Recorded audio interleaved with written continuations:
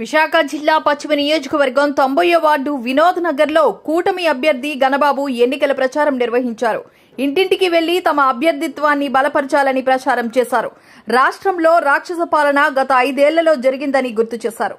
చంద్రబాబును రాత్రి వేళలో అక్రమ అరెస్టు చేసి జగన్మోహన్ రెడ్డి పైశాచిక ఆనందం పొందారని గుర్తు చేశారు. ఆ సమయంలో జనసేన అధినేత పవన్ కళ్యాణ్ చంద్రబాబుకు బాసటగా నిలిచారని తెలియజేశారు. ముచ్చటగా హ్యాట్రిక్ విజయాన్ని ప్రజలందరూ కల్పించాలని కోరారు. ఈ కార్యక్రమంలో టీడీపీ నాయకులు కార్యకర్తలు తదితరులు పాల్గొన్నారు. నగర్ వచ్చిన కనకమహాలక్ష్మి నగర్ ఈ ప్రాంతం అంతా కూడా ఎప్పుడు అపూర్వమైనటువంటి స్వాగతం పలుకుతుంది. అభివృద్ధి చేసే వాళ్ళకి ఎప్పుడు ఆదరిస్తారనేటువంటి నమ్మకం ప్రజాప్రతినిధులకి కలుగుతూ ఉంటుంది ఎప్పుడు కూడా.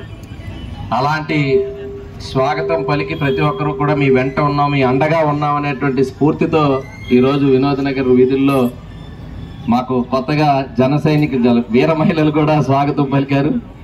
ప్రతి ఒక్కరికి కూడా పేరు పేరున నా ధన్యవాదాలు తెలియజేసుకుంటూ ఈరోజు ఇప్పుడే చూశారు మూడు పార్టీలు. Bharatiya Janata party Janasena Telugudesam party. ఒక మంచి ఉద్దేశంతో అంటే రాష్ట్రం అభివృద్ధి సంక్షేమం ఎలా జరుగుతుంది?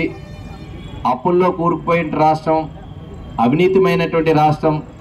ఈరోజు జగన్ రెడ్డి గారి అనాలోచిత నిర్ణయాలు ఒక విధ్వంసకరమైనటువంటి నిర్ణయాలు ఒక రివెంజ్ పాలిటిక్స్కి తెరదీసి అసలు అభివృద్ధి అనేటువంటిది పక్కన పెట్టేశారు. ఈ పని చేస్తే తెలుగుదేశం పార్టీకి చంద్రబాబు నాయుడు గారికి పేరు వస్తుంది కాబట్టి ప్రజలు ఉపయోగపడేటటువంటి కార్యక్రమం అయినా అది ఆపేయాలి. హైదరాబాద్ అంటే సైబరాబాద్ ఈ రోజు ఫైనాన్షియల్ సిటీగా లేకపోతే హైదరాబాద్లో ఉండే అవుటర్ రింగ్ రోడ్ లేకపోతే ఇతరత్ర ఎయిర్పోర్ట్ ఇవన్నీ ఏం మాట్లాడుకున్నా చంద్రబాబు నాయుడు గారి పేరు చెప్తున్నారు.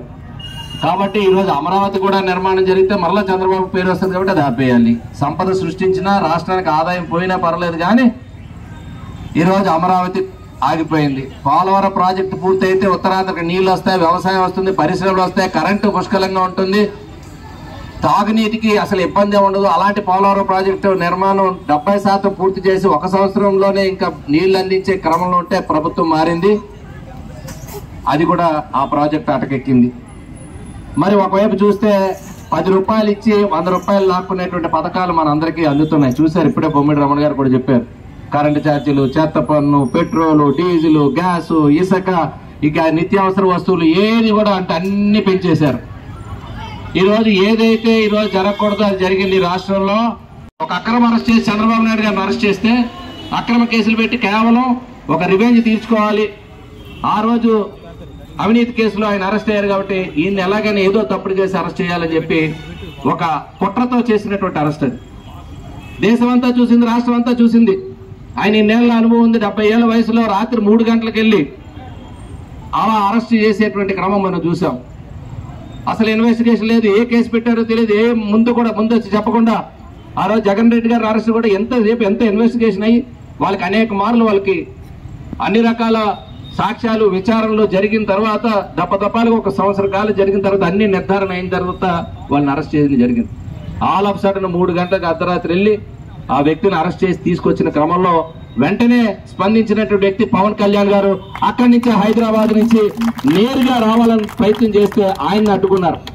ఆయన అందుకనే వారి పార్టీ శ్రేణులతో కూడా మాట్లాడకుండా నేరుగా చంద్రబాబు నాయుడు గారిని కలిసిన తర్వాత చలించిపోయి వెంటనే ఇది కాదు ఈ రాష్ట్రానికి ఇది చాలా తప్పులు చేస్తున్నారు ఈ రాష్ట్రం ఇంకా నాశనం అయ్యే పరిస్థితి ఉంది. మనం ఈ ఈ ఓటు ఎట్టి పరిస్థితుల్లో చీలకూడదు ప్రభుత్వానికి తీవ్ర వ్యతిరేకత ఉంది. అది మూడు పార్టీలు నాలుగు పార్టీలు కనుక చీల్చుకుంటే మరలా రాష్ట్రానికి అన్యాయం చేసిన వాళ్ళు అవుతామని చెప్పి అక్కడికక్కడ నిర్ణయం తీసుకొని తెలుగుదేశం పార్టీతో కడుగులు వేయాలని చెప్పి ఈ రోజు పవన్ కళ్యాణ్ గారు చంద్రబాబు నాయుడు గారితో కలిసి నడుస్తున్నారు. పరమీశం ఇది ఆంధ్రుడి రోషం. రారమ్మని పిలుస్తోంది తెలుగుదేశం.